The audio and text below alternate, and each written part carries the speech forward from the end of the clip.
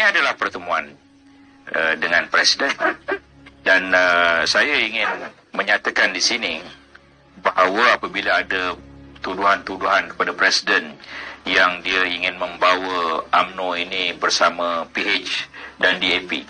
Presiden bersumpah, Wallahi wa billahi wa tallahi, bahawa uh, saya tidak akan menyokong Anwar Ibrahim untuk jadi Perdana Menteri dan saya tidak akan bersama dengan PHDAP ini.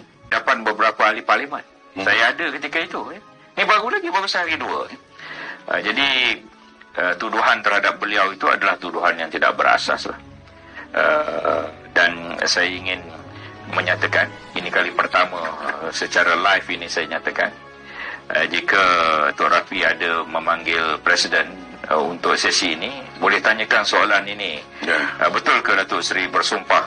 Wallahi wa billahi wa tallahi bahawa tiada Anwar tiada DAP ya. di hadapan beberapa orang di parlimen dia akan jawab tentu.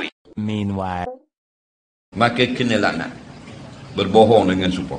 Kena laknat. Orang yang kena laknat maksudnya Allah jauhkan daripada rahmatnya. Dan para malaikat mendoakan. Kalau laknat dan malaikat Orang ini jauh dari kasihan Allah.